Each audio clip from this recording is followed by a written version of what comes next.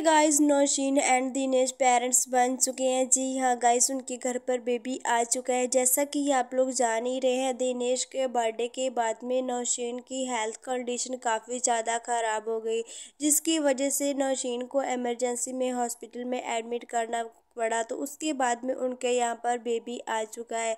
जी हाँ guys Naz and Nausheen अब parents बन चुके हैं। उनके घर पर बहुत ही प्यारा सा बेबी आ चुका है। ये न्यूज़ सूफिया एंड निदा ने अपने सोशल मीडिया पर फैंस के साथ शेयर की है कि वो अब मामी बन चुके हैं। तो आपको नौशीन के बेबी की ये न्यूज़ सुनकर कैसा लगा? कमेंट में ज़रूर बताइएगा। तो गाइज़ आप जल्दी से जल्दी नौशीन के बेबी के लिए ज़्यादा से ज़्यादा कमेंट बॉक्स में ब्लैसिंग दीजिए और प्यारा सा एक वीडियो को लाइक कर दीजिए। उनके बेबी बेबी के लिए।